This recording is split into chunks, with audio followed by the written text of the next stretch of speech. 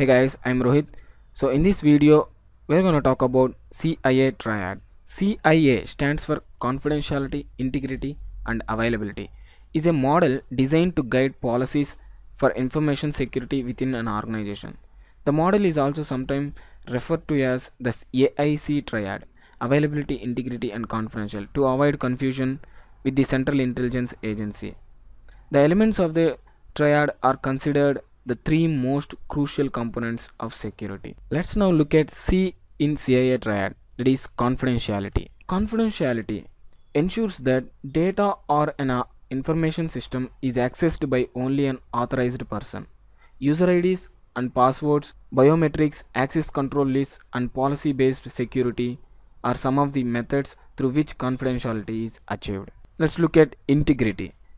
Integrity assures that the data or information system can be trusted, ensures that it is edited by only authorized persons and remains in its original state when at rest.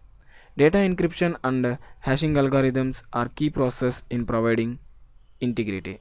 Let's look at availability. Availability refers to the actual availability of data. That means data and information systems are available when required.